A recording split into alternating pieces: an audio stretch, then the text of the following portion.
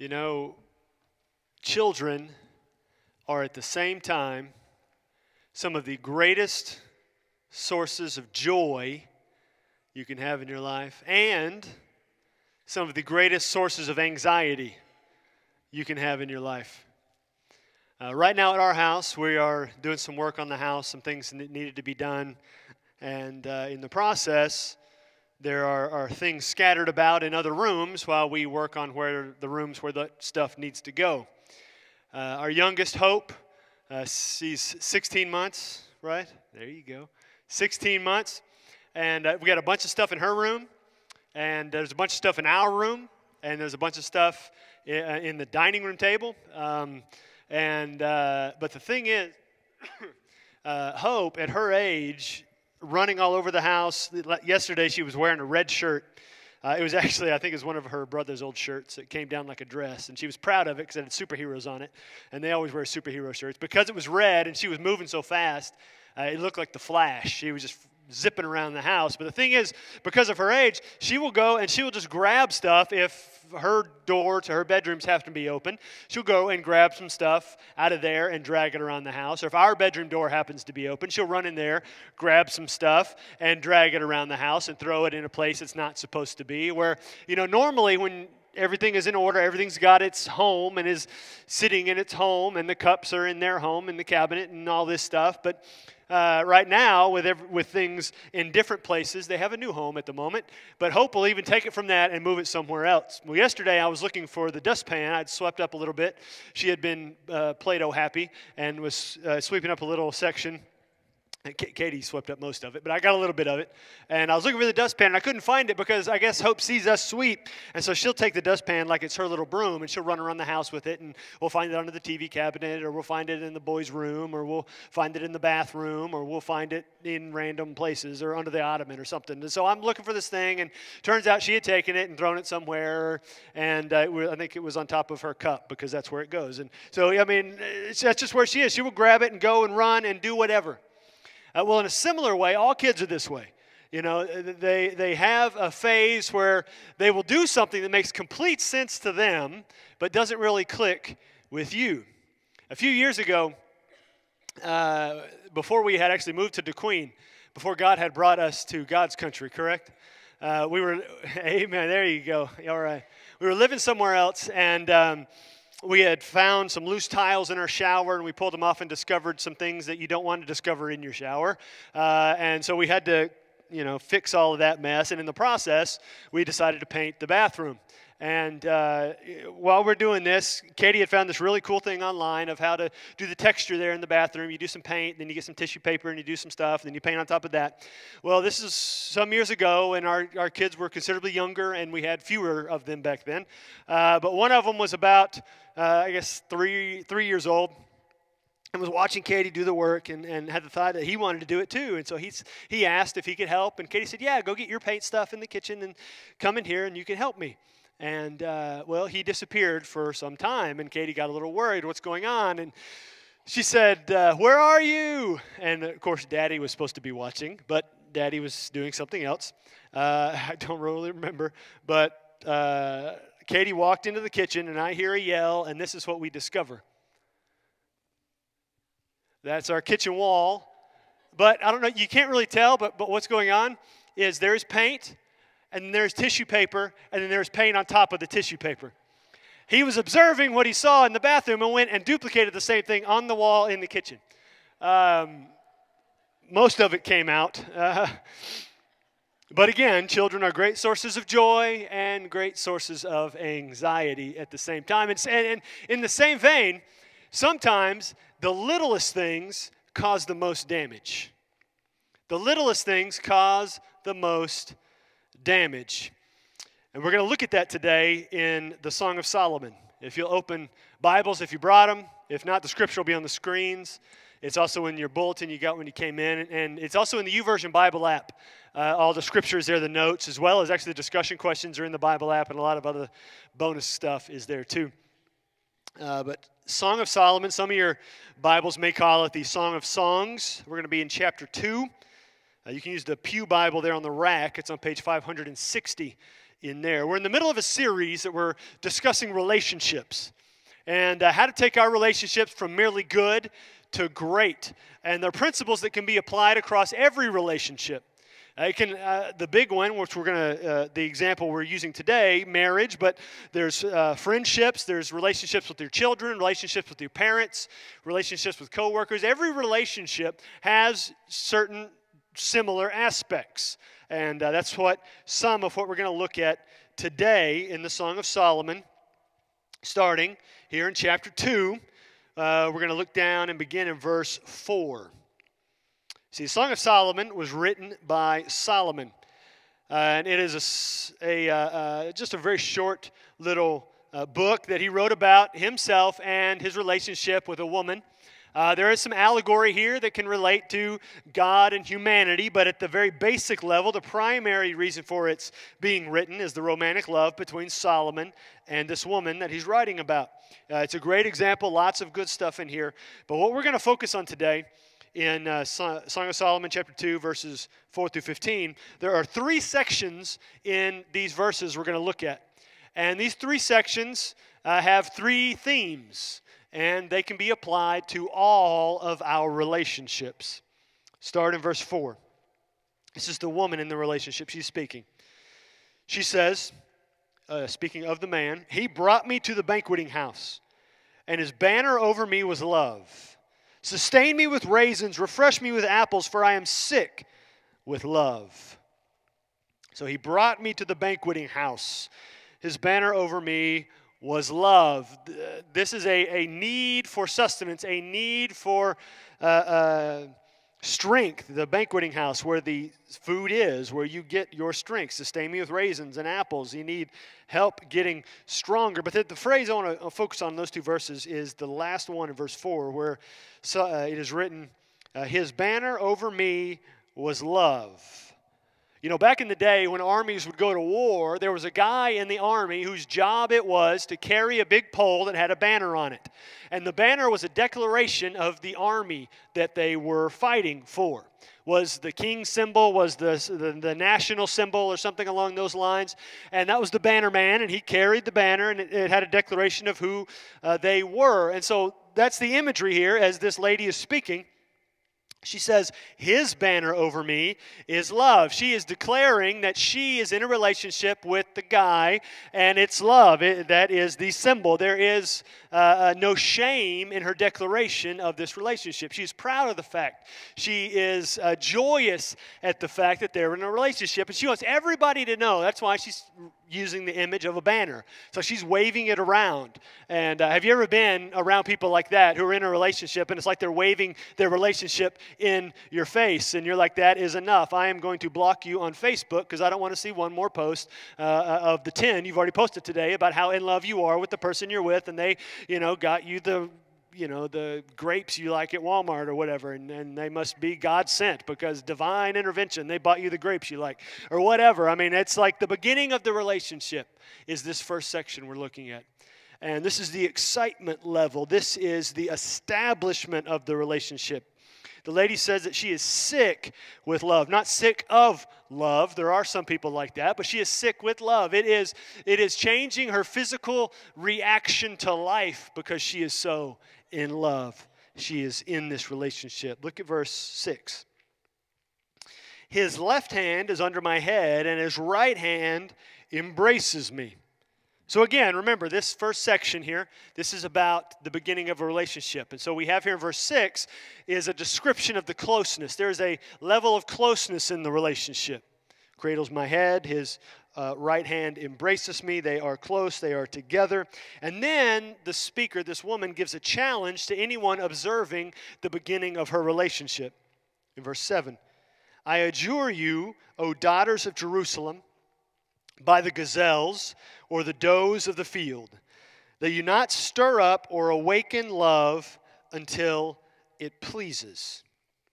So, in the midst of the beginning of her relationship, people observing, she says, Don't awaken love until it's time. Don't let it get started until it, it needs to. Don't force the relationship. Now, again, if you're in a relationship, this is an, an out to get out of the relationship, saying, I need to remove myself from this scenario. This is before you even start. Don't go down that road, don't force it.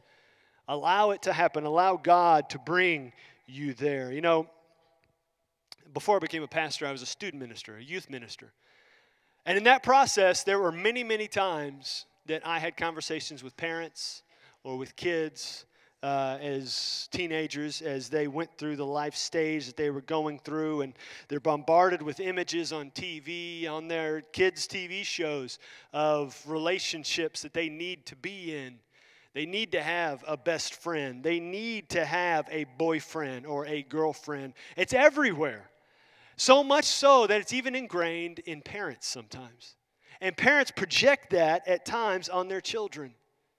I don't know if you know of anybody this is the case. I do. I can sp- think of a specific instance, uh, several actually, where not only the parents forced their kids into relationships when they definitely weren't ready, but those relationships developed and, and, turned into marriage, and those marriage relationships combusted and destroyed everybody's life. And it all began because the parents forced something that it wasn't time to happen. And kids do this as well. They, they feel the need, they see it, they, they, they force the relationship when it's not time. I mean, I can throw stats at you after stats after you being a youth minister. I think it's 97 point something percent of relationships that happen before college don't go anywhere. And yet, we Im, imbibe that as a culture, that it's something that needs to be uh, uh, fostered. And yet, I'm sure you teachers in the room can see it in the hallways, the devastation that that can cause at times when you start too soon, too early, begin before not only you're ready, but the relationship is ready. And so, this woman here, in the midst of the beginning of her relationship uh, and the challenges that that comes with, she is saying to anyone who's watching, don't start until it's time. Don't start until you're ready. There's challenges you don't see coming, there's problems you don't see coming, there's going to be issues that you're not quite ready for. So don't force it if you don't have to. Look at verse 8. We enter into a new section here in verse 8. Uh, 4 through 7 that we just read, that was the beginning of the relationship, and now we see something new. Verse 8. The voice of my beloved Behold, he comes, leaping over the mountains, bounding over the hills. Now, I'm sure every woman in the room who's married and you're sitting next to your husband, this is how you view your husband. He can, he can leap over mountains, he can bound over hills, leaping tall buildings in a single bound, faster than a speeding bullet. That's, that's how it is. Ask, ask Katie. That's how she views me. That, that is the truth. That is the gospel right there. Uh, this is what she says Behold, he comes, leaping over mountains, bounding over hills. My beloved is like a gazelle or a young stag. Behold, there he stands behind our wall, gazing through the windows, looking through the lattice. You see, what we see here in this guy, he's not a peeping Tom. This isn't weird. He's outside the courtyard. He's trying to get into the, to the courtyard, to, to get to the house, to get to his great love. He's actively pursuing the relationship. He's being intentional in what he's doing. And again, there's still a level of excitement. He's wanting to get there. He's doing everything he can. He will leap over mountains, he will bound over hills. He will go as hard uh, down the journey as he needs to go, no matter how difficult the path is, because he is actively pursuing the relationship. Verse 10 My beloved speaks and says to me, Arise, my love, my beautiful one, and come away. For behold, the winter is past, and the rain is over and gone. The winter is past. Now, what's, what's interesting uh, is the way that that's phrased. He's not necessarily saying the winter has passed, P A S S E D, that we went through it, we made it through it. He says we're on the other side. It is in the past. We have passed the winter, it is gone. We don't need to think about it anymore, we don't need to dwell on it anymore because after winter comes spring. Spring brings growth. Spring brings blessing. So the rains have already passed. Rains are essential for growth, and the rains have happened, and now it's time for growth. Now it's time for blessing. The relationship has started. We're in the midst of it. It's time to grow and get stronger and be empowered by where we are in our relationship. And so this is a recognition of where the relationship truly is. It's not winter anymore, the, the dead season is gone, and now it is time to grow. Look at verse 12. The flowers appear on the earth. The time of singing has come, and the voice of the turtle dove is heard in our land. The fig tree ripens its figs, and the vines are in blossom. They give forth fragrance. So, this is the relational springtime. Everything is growing. All this fruit is abundantly available, and, and there is just goodness everywhere you look. And there should be in any relationship, there, there's a beginning period of the relationship, and then and, and you get to the growth period, and everything should be aiming to grow you should be growing individually in Christ, but also just as human beings. And the thing is, if you are growing in Jesus, if you are growing towards Jesus as an individual, then naturally the two of you will be growing closer together. Because if Christ is here and the two of you are growing towards Him, you are growing closer to each other as you grow closer to Him. And so the growth is happening. Flowers appear. The time of singing has come. The fig tree ripens. You may have never had figs. I had figs for the first time a couple weeks ago, and they are amazing. Somebody came to my office and uh, brought figs that were picked off of the tree not 10 minutes before. Uh, they are amazing. You've got to try them. If you see a fig tree on the side of the road, stop and pick one and eat it. Uh, make sure it's a fig, though, because you might end up with something else in your mouth. But it is really, really good.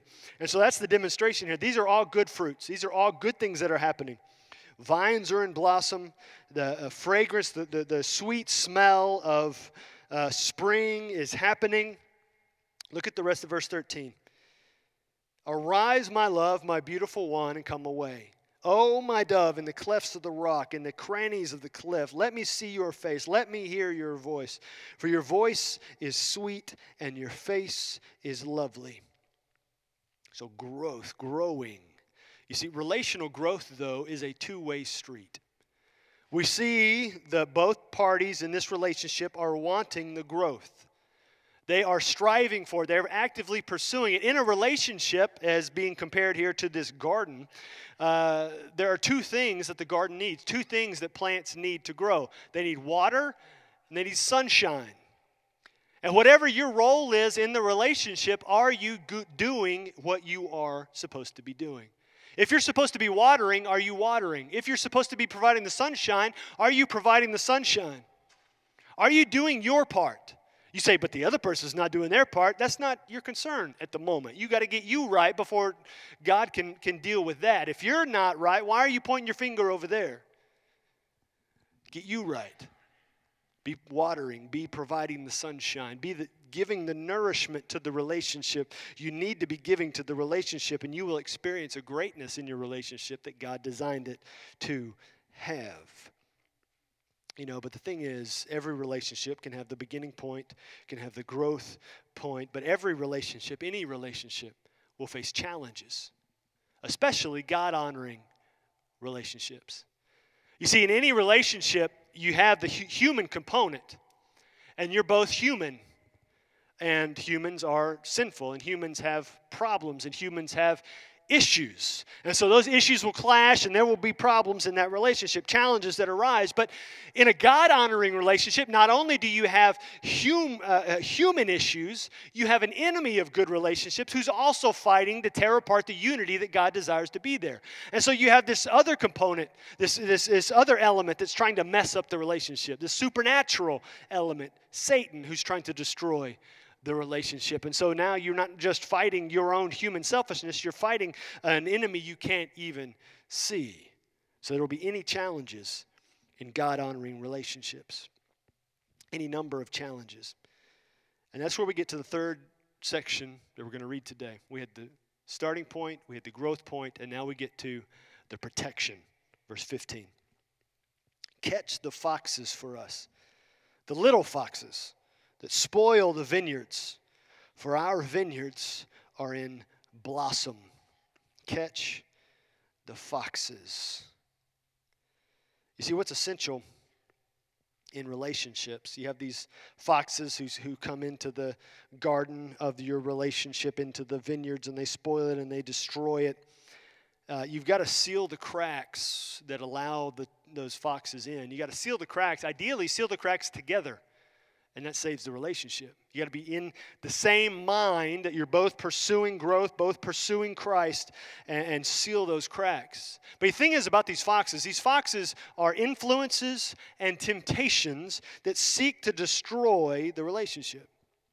The foxes, these little foxes, it says. Now, I like that Solomon uses that phrase little foxes. You see, if there's something in your relationship that's big and huge and it's a problem, you know it's there and, and you can address the big problems.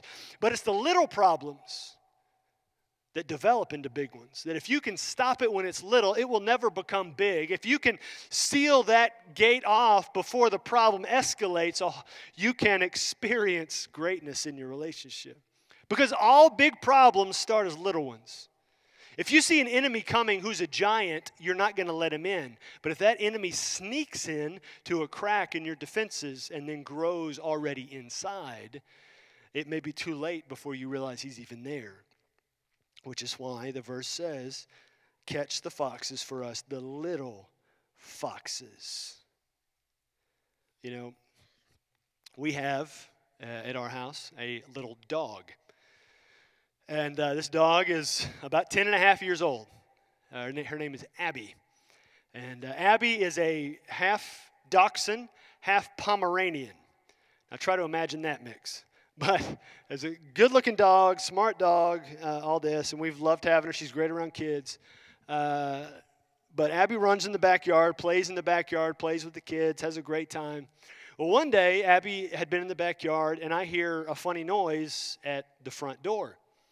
And so I go over there, the front door, and there's the dog on the front porch. And kind of confused, not really realizing what's going on here. So let the dog in the house, and she wants to go back outside. Let her outside. And a few minutes pass, and I hear a noise out in the front yard. So it's not the front door now, it's in the front yard. So I go and open the front door, and there's the dog in the front yard running around chasing squirrels. So we let the dog back in the house and put the dog back in the backyard. And this time, no, I'm going to watch the dog.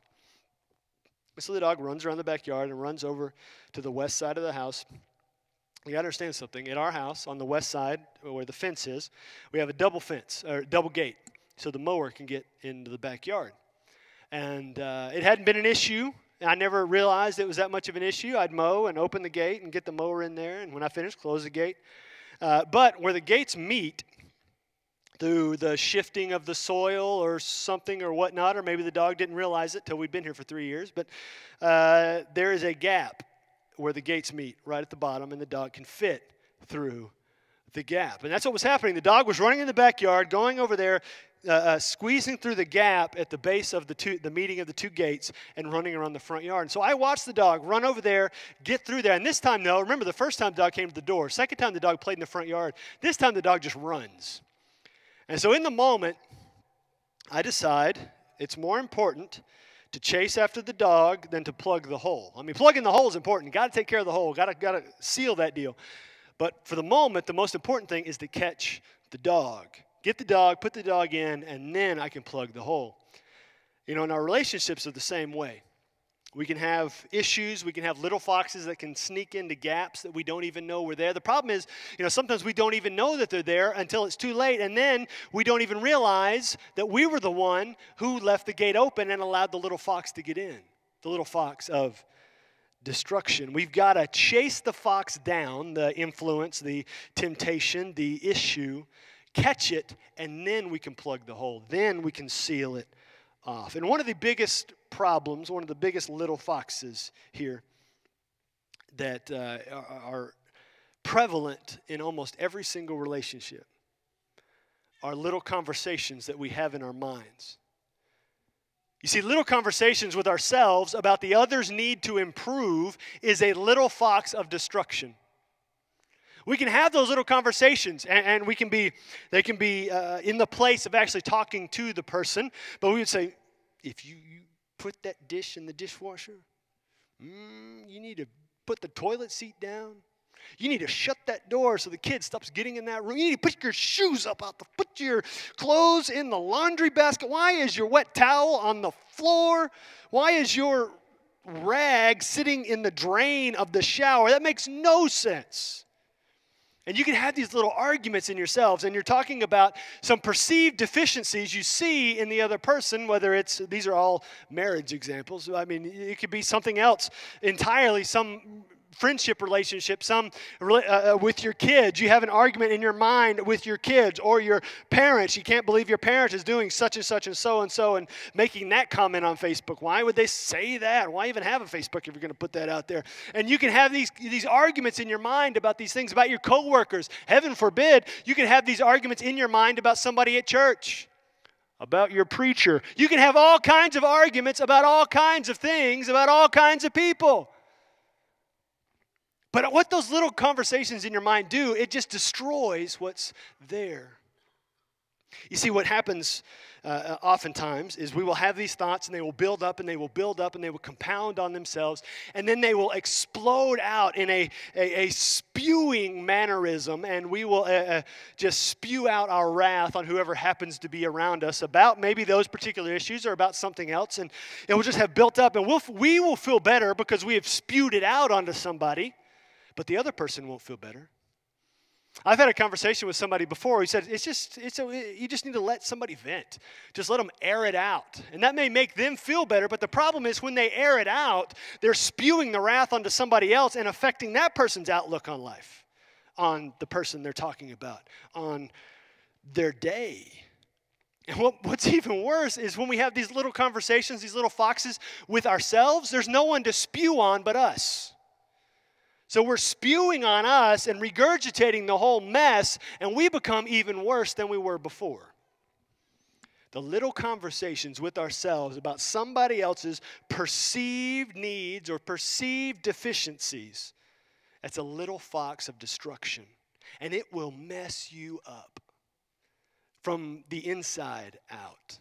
It will mess up your relationship. It will mess up your life. It will, mess up your relationship with Jesus because it will become a, a moldy, stanky piece of your soul. And you've got to address it. If you don't address it, then you're just going to pass it on, maybe to your kids, maybe to somebody, another relationship. You've got to address the issue and get the mess out. Catch the fox, seal the hole. Don't let that fox have any more access to you. Because those little conversations, those little arguments, will turn you away from Jesus. You see, those little foxes have been strategically trained, those little foxes of destruction have been tr- strategically trained by the enemy of great relationships, Satan. He's been training these little foxes of influence and temptation for thousands of years. He has seen people with your personality and your drive and your motivation before in the course of human history. And he has been training these little foxes to sneak in and mess you up and, and, and screw with your heart. That's where they want to get. These little foxes of influence and temptation and destruction want to get into your heart. But they get into your heart through your mind. Your mind is where they start. They start in your mind as you begin to think on these things, as you begin to have these thoughts. And the more you have the thoughts, the more you think on them, the more they take root and they seep down into your heart. And once they're there, it's hard to uproot them and remove them. That's when that's when negativity becomes bitterness when it's taken root in your heart. And so you've got to catch them before they burrow their way down into your soul. You've got to catch them when they're just little foxes in your mind. So don't be blind to your mind. You can go about your day and do a variety of things. You can be in the shower and just letting your mind wander. You can be at work and just let your mind wander. And you, you, you, you creep into that stage of little conversations, little arguments about such and such and so and so and this issue that's going on. And that can develop into an, a running inner dialogue of complaint that has come into your mind and at that moment, as you begin to let it percolate and ferment, it is slowly seeping down into your heart and taking root and messing you up. So don't be blind to your mind. You see, you must, gr- we're going to rhyme a lot. You've got to grind your mind to see what you find. You got to grind your mind. You got to you got to search it. You got to search the, the, the, the fences of your relationship and say, is this thing secure? Is this thing taken care of? Is this are there any gaps in my fence that would allow little foxes in? Do I have any little pet peeves in my relationship that if that person in the relationship says that word or makes that statement about that political issue, that I'm going to just blow up and go off, and that's going to forever damage everything that Jesus had built up between us? You got to search the fence. Are there any little gaps for little foxes to get in and mess you up? If you want to be primed for a great relationship, not just a great relationship, but if you want to be primed for a great life, this is where it starts. Catch the little foxes. Because before you know it, if you allow them to come in, allow them to feed, they will destroy what God meant to be great your relationships and your life. And you see, the foundation of a great relationship is Jesus. Jesus is the example, the ultimate example of a great relationship. And we can never truly know a great relationship in this life if we don't first know Jesus. Because when we embrace that relationship with Jesus, then he sets the example of a relationship with anybody else. And so we have to start there. And to start a relationship with Jesus, you don't have to buy a cup of coffee. You don't have to click confirm or accept an invite on Facebook. You just have to believe that Jesus is God's Son, that He came and He died so that all your sins would be forgiven. He accepted punishment for your sins and He died. And then He rose from that death so that you can live after death. If you want to live forever and have a relationship with Jesus and ha- have Him set the tone for every one of your future relationships, including the ones you have now, then you've got to believe in Jesus. And right now, some of you, I know some of you, need to make that decision. Some of you need to believe. Some of you have believed and haven't told anybody. Some of you are scared. And you're having right now in your mind a little conversation.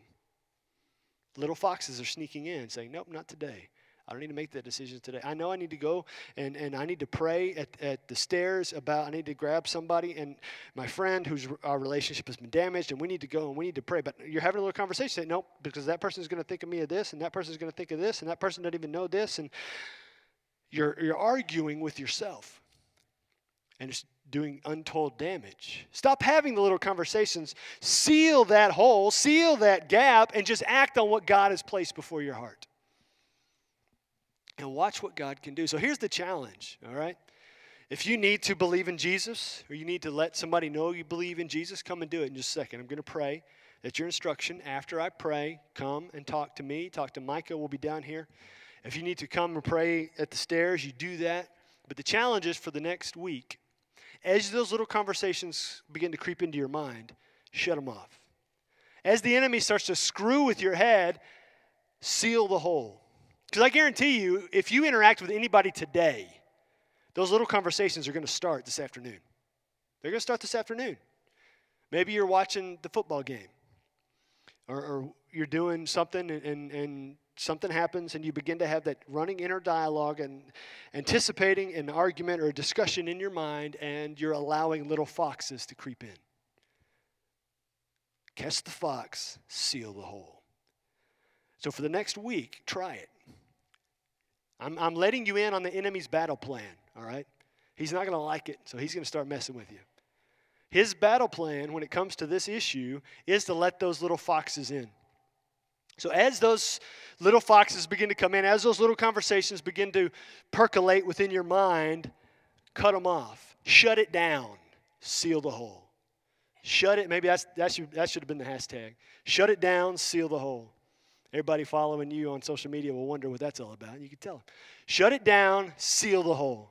And watch not just how your outlook on the week changes, but how your relationships this week develop and grow into what God intended them to be.